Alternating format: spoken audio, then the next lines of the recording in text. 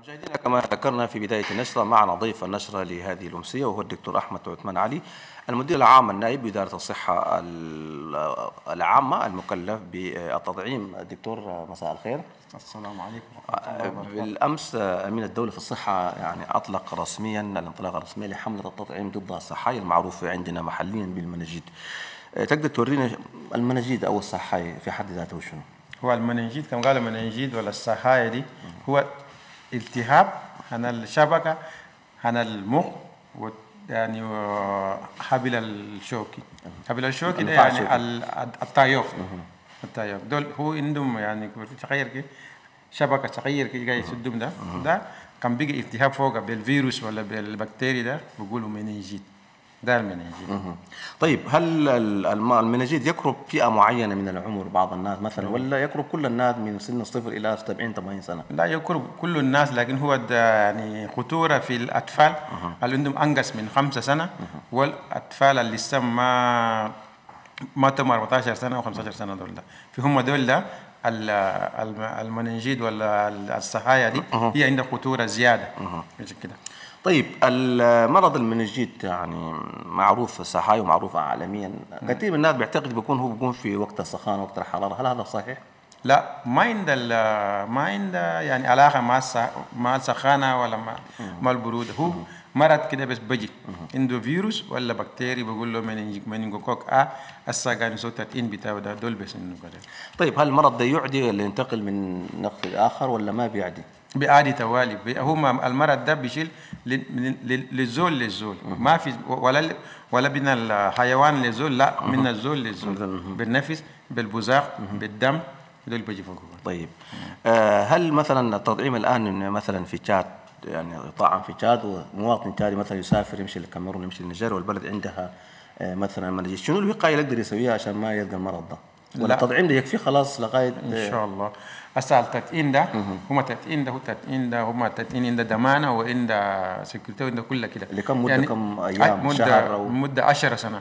10 من سنة. زول زول من سولو التدقين ده لحد 10 سنة ده ثاني مرة هم بيسي مننجيت التيبانو هذا دونك لأنه التدقين ده هو اكسبيريمنتي على في دول دول أخرى في مالي في نيجر في نيجيريا. كل قبل ما يدخل في جد. خلاص هو اكسبيرينس شافوه لأن ما عنده خطورة ما عنده عنده يعني هو ضمانه هنوده 10 سنة. وبعد كده في سنة آه، 2011 ده سوى التدقين في تشاد كله ل- لاطفال من سنة واحد لحد تسع- آه، 29 سنة ده كله سوى لهم تدقين كويس. وبعدين في ديسمبر أنا سنة 2012 ده كلها سووا فوق تدقين للاطفال عن السنة 29 سنه 19 سنة. أوكي. ومن مدة هذا من سنة 12 آه، 2012. 2012 لحد هسه ده ما لقينا ولا كا واحد. أنا من نجيب كلمة. اذا التطعيم الأسع اللي يكون يعني هو وقاية. يعني حتى الآن المرض ما ظهر في تشاد ما ظهر في جات. طيب. زمان الدكتور آه، أحمد عثمان التطعيم ضد الصحاي بيكون في المدارس بيكون في المؤسسات الكبرى. هل والأمين الدولة أطلق هذا ال- التطعيم. هل يكون في نفس الأساليب السابقة يكون في المدارس في المستشفيات ولا ولا السنة شلتوا مثلا أسلوب آخر؟ لا لا. السنة ده عندنا التطعين ده هو ده هو 5 ملي 5 ميكروغرام. التطعين أنا 5 ميكروغرام ده حصل للأطفال عن 9 شهر. اطفال عن 9 شهر ده لما يمشوا في أي centre santé وكان أنا تطعين قاعد ده يمشوا الأمهات يودوا أطفال عن 9 شهر ده يطعنوا وبعدين عندنا نظام كده في شهرنا أكتوبر شهر 10 ده نسو تدقين عامة في ال في ال في المدرسات في البيوت كلها كانوا نمشي لبيت بيت. نتعاونهم للاطفال اللي عندهم سنة واحد لحد 29 سنة كلها نتعاونهم طيب. يعني يبقوا كوبرتيل دكتور يعني شنو أهمية التطعيم اللي تنظم تشات كل يعني أنت قلت 2011 عملت تطعيم ثاني بعد سنة عملت تطعيم وحاليا هسه تدعم الشيء ده ما يبقى كثير للتشادين ولا في أهمية للتطعيم اللي تنظم تشاد كما فيها المننجيت مننجيت هذا. لأنه هو يعني اكسبيرمنتي وعنده ضمانه وعنده كل كده. شافوا في الدول دول آخر. وتأسى جابوا في تشات يدخلوا في تعطوا في الفاكسيناسيون. أنا عادي. فاكسيناسيون يسوي في سانتي سانتي دول يدخلوا فوق يسوي. لأنه ما لا جابوا. جابوا ده لأنه عنده سكرتي وعنده ضمانه وعنده كل كده. وهو ضمانه بتاعه ده 10 سنة. الصغير لما تعاونوا كل واحد ده لحد 10 سنة ده بطل ما عنده المنهج ما يلوم المناجيد طيب بعد الإصابة بمرض المناجيد نشوف كثير من الناس بيموتوا بعض المناجيد يجي. يعني كثير بيقول لك المناجيد ما عنده دواء. هل هذا الكلام علمي صحي ولا ما ما علمي؟ نعم. يعني المننجيت ده عنده دواء تخصص. دواء نوع تخصص ده قايد. دواء نوع تخصص فيه لكن ما بالدواء التخصص نسولهم نسولهم دواء آخر. كل لك نسولهم ده كل ده.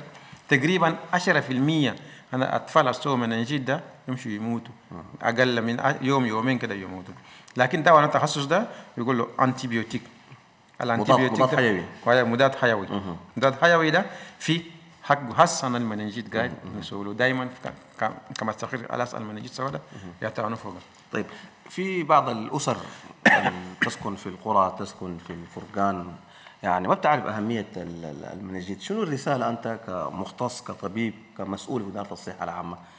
رسالة شنو توجهها؟ الإنسان بعد ما يصاب بالمرض ودوا وين يسوي لي شنو عشان هو قبل ما يسال المرض التخير ودوه خليه يسوي له التطعين هو كان بيجي مردان خلاص ده يخليه يودوه توالي في المستشفى القريب ليم ولا في في centre santé القريب يودوه يشيلوا له. عند هم هم عند علاج أنا حس يسووا له إن شاء الله سخير يبدا العافية. ما يخلوه يأخر كي لأن السخير وقت بيجي تعبان. خلاص ما عنده فايدة؟ ده يودوه لبتان ده ما يعمل خليه يودوه بدري في اللبتان طيب يعني ممكن سؤال أخير فينا دكتور. يعني الأعراض المرض النايم كيف يعرف المرض المننجيت كيف؟ ولا المرض المننجيت ده هو ما عنده السنين دول عنده تقول كي وصفه لأنه مننجيت ده.